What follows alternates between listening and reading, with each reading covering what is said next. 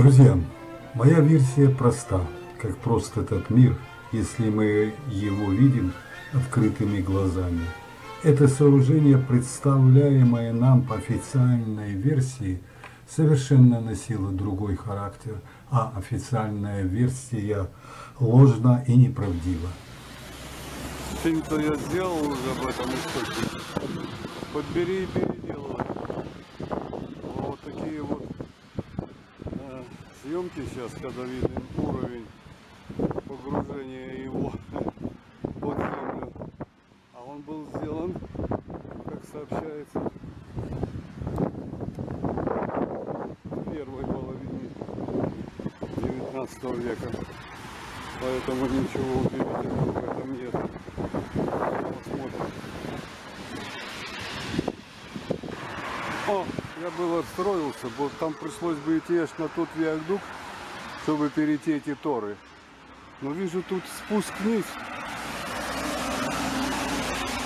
И там проезд виадукчик может мне выведет на то строение, как я увидел.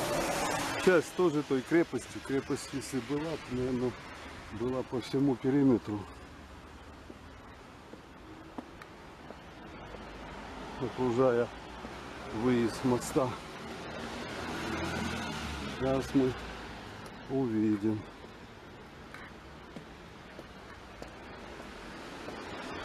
Очень хорошее место. Очень. Да. Ну вот это вот нас бы вывело к королевскому источнику.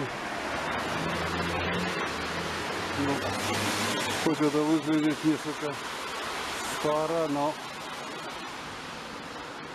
не думаю, не думаю. Александровская крепость Звезды занимала территорию в большей степени на западном берегу и часть на восточном. Она перекрывала перемещение через Вислу и являлась одним из цепей охраны границ Священного Союза Австрии, Пруссии, Франции и России.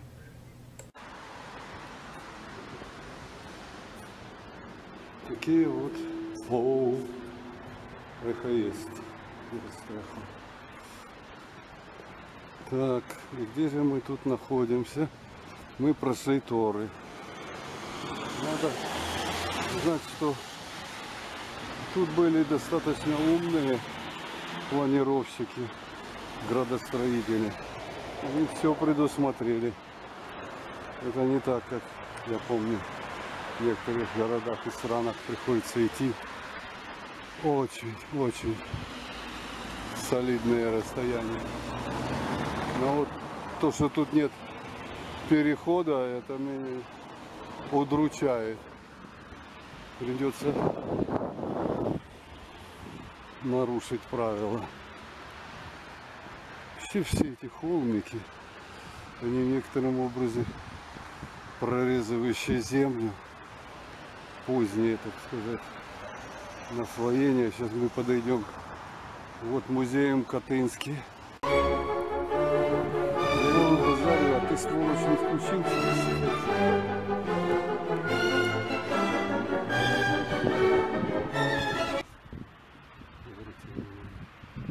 Старая.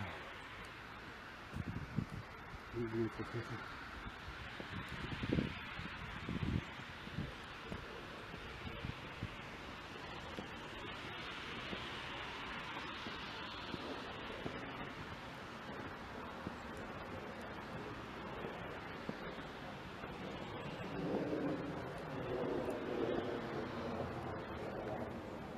Да, можете представить. Ну, ясно, что этого все не было, все это было до земли. И ясно, что это постройка не второй половины 19 века.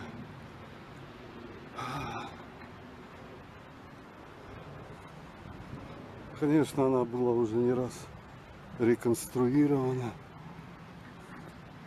Интересно было бы подбивать в этих казематах и походить по его их подвалах. Может тут проводят какие-то экскурсии. Но опять же, экскурсия это всегда замыление очи.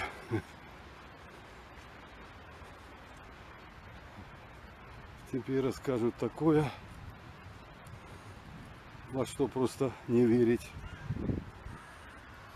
нельзя. Это как по обозу ходить концентрационных и гулагах. Точка. Вот. Ну, понятно, забетонированные входы. Вот где именно то, что следовало мне. Куда пойти, а не в ту сторону. Но не важно. Грандиозное сооружение, конечно. Грандиозное. Сильная держава это построила. Сильная и могучая. Вот. Что бы там ни говорили. Вот там какие-то надписи.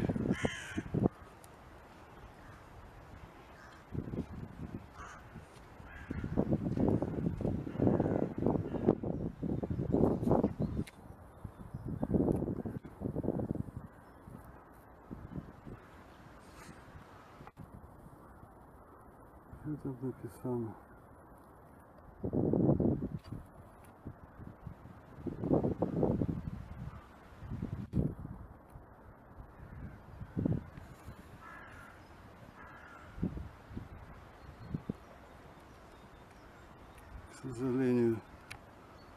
расплывается объектив. Что это за объектив такой?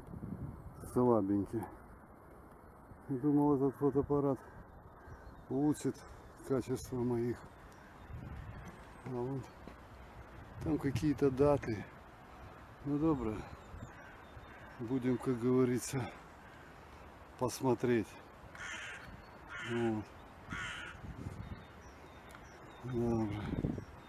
Будем, как говорится, посмотреть. Сейчас надо поснимать. Нет, не удастся.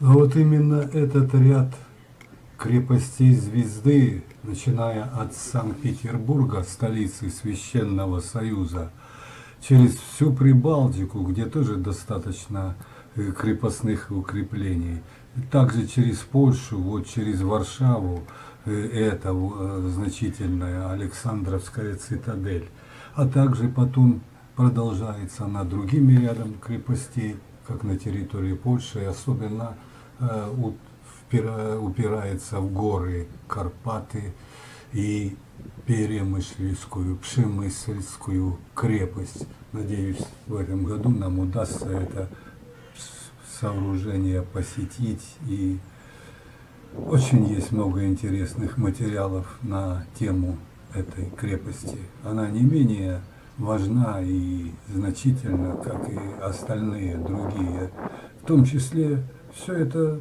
прекрасно вписывается и соединяется с, том, с нашей известной в определенных кругах Керченской, Татлебинской, Нибыто э, крепостью.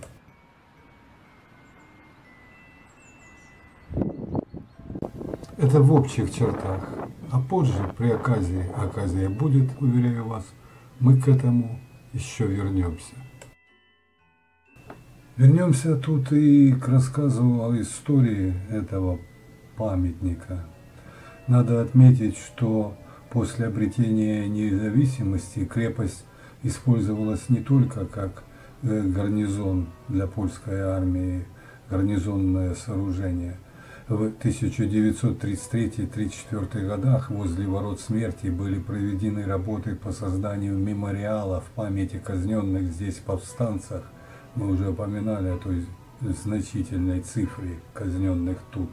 Создано символическое кладбище, установлена стеклянная витрина-колпак над стоящей там виселицей, построена монументальная лестница, ведущая к месту казни, а ворота были перестроены в виде триумфальной арки. Перед воротами на постаментах установили четыре пушки с направленными в сторону Вислы стволами. В сентябре же 1939 года во время бомбардировки Варшавы была уничтожена большая часть зданий Варшавской цитадели. Понятно, что многое из того, что сейчас восстановлено, это фантазия архитекторов. Такие вот дела. Как видите, это очень интересно. Очень. Посмотрим, видите?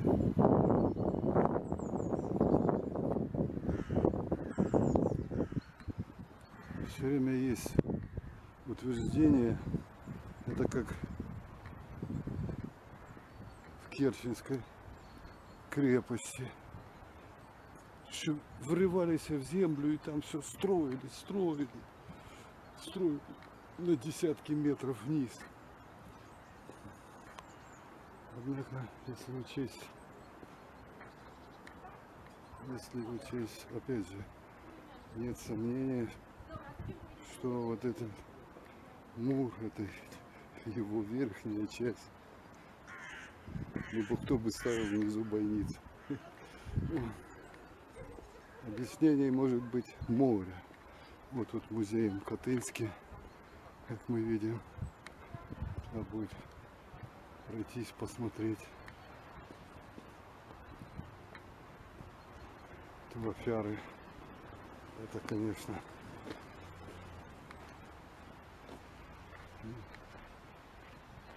фортеция вот так, да. Музей Катынский. Там проход.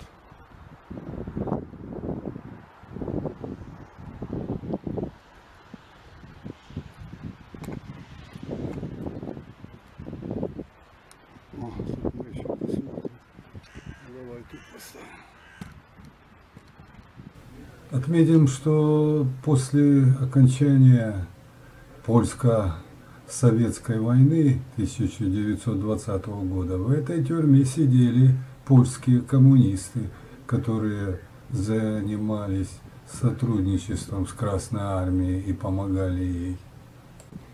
Не оставляет сомнений, что за свою историческую бытность здесь совершалось многое, многое и кровавое, и преступное, и тем или иным режимом, тем или иным устроем, той или иной властью. Время было такое, как было. Мы абсолютно ничего не знаем о середине XIX века. И пытаемся только лишь отгадывать то, что было перед этим. Что ж, вот то есть музей Кротынский. Сами понимаете, какой тематики людобуйства на скале изуверства. Друзья, я посвящу этому осмотру этого сооружения еще не один день, а этот день будет представлен еще, может быть, в одном или двух видео. Естественно, это далеко до окончания всего рассмотрения. Однако, очень жалею, что у меня нет квадра, квадрокоптера. Однако, придется все-таки воспользоваться Google Maps и посмотреть немного на Google Earth с высоты. Одно замечу, что сама крепость находится всего лишь на 100 метрах над уровнем моря. Но если мы примем и известные данные о потопе, которые наверняка позволяют нам углубиться на 90 метров, минимум до 30 вглубь, то эта крепость была намного выше над уровнем земли в свое время, во время своего первоначального бытия и построения.